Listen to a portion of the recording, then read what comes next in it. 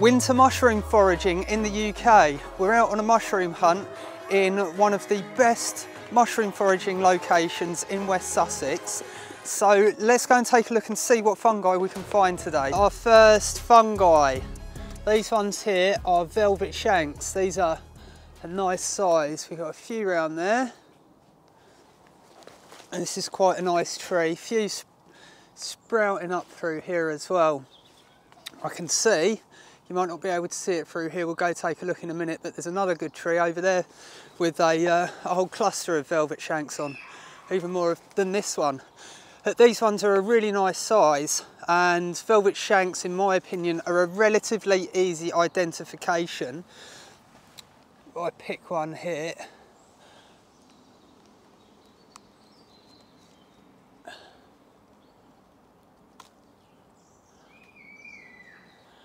So they get their name because they have this lovely velvety looking stipe.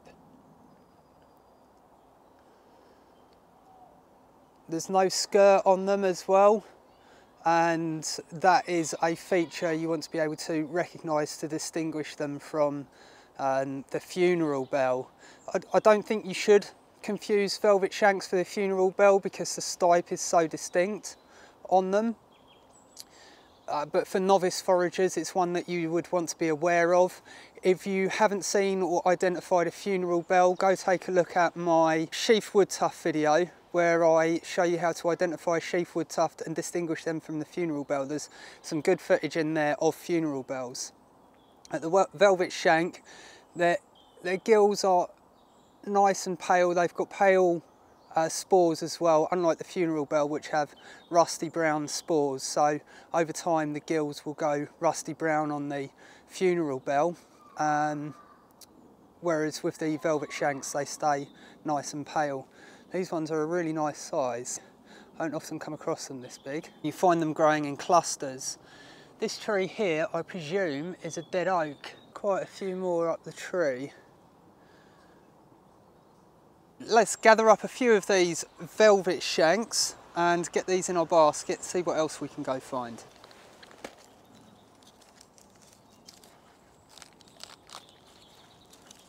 Another tree through here with velvet shanks all over it. This will be another little oak. I've gone a tad brown so in my opinion, these are a little bit past their best. And I'm going to leave these ones behind. The ones lower down, you can see. So when they're at that stage, they're, they're past their best. The original ones we found a moment ago were in very nice condition, nice and young and fresh. The next species of fungi you want to be looking out for in January in the winter in the UK is just down here. These ones are called scarlet elf cups. There's actually two species, the ruby elf cup and the scarlet elf cup. Um, they're indistinguishable without microscopy. They're both edible. The ruby elf cup is much more rare than the actual scarlet elf cup, so generally people are going to find the scarlet elf cup. These ones down here are teeny so I'm going to leave these ones today and I won't be harvesting them and just let them grow and flourish. These are a really easy identification. In my view, there's nothing you should be confusing scarlet elf cups with. Uh, they're, they're red cup fungi, there's nothing else that actually looks like these. And you're going to find them on windfall, generally on hazel uh, windfall, and I usually find them on calcareous soils. Seldom have I seen them when I'm on acidic soils. So you're looking for hazel, hazel trees, hazel copses on calcareous soils and uh, check around on the windfall, the dead branches. Sometimes you can find them in large numbers and um, these are a nice little addition to your plate to brighten them up. Next on our winter mushroom forage we've got jelly ears. Another really easy identification.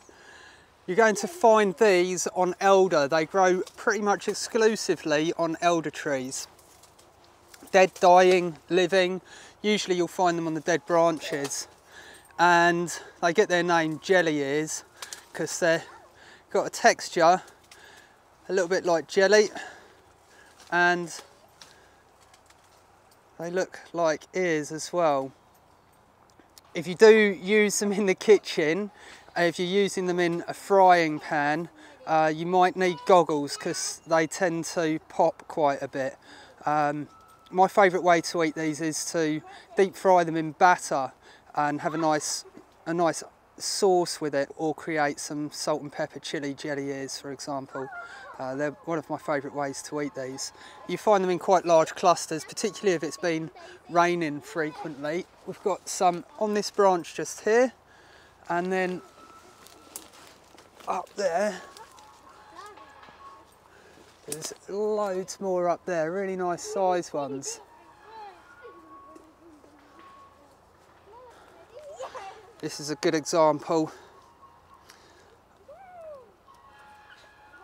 of why they get their name jelly ears.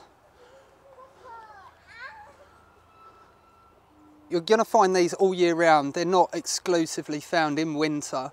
Um, in my experience,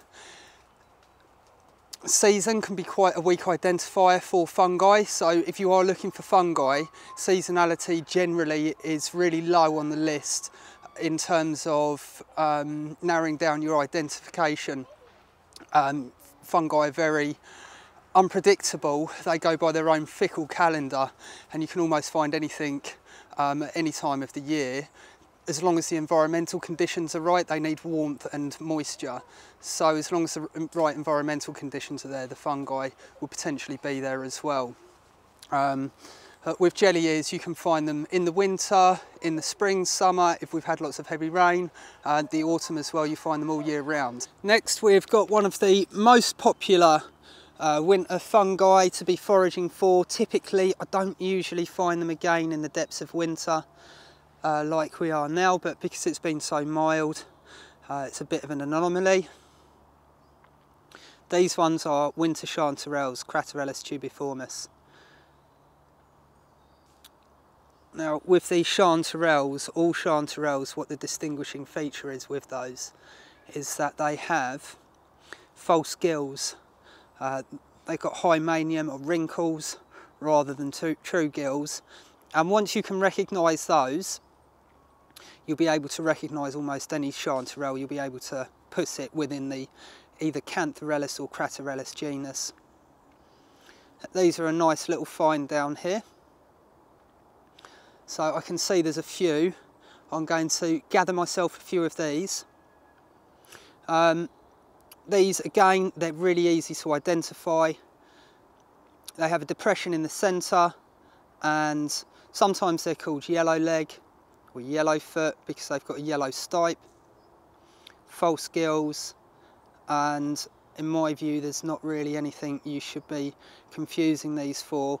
Uh, you have Craterellus tubiformis, which these most likely are, and then you also have Craterellus lutescens, uh, which looks remarkably similar, very hard to distinguish between the two, but they're both edibles, all chanterelles are edible, so as long as you know you're in the chanterelle genus, they're good to go. They're good to be used as food, consumed as food. This down here is a classic chanterelle patch, nice and mossy. Usual kind of habitat you're going to find chanterelles in. The Craterellus genus um, which has about half a dozen species within it.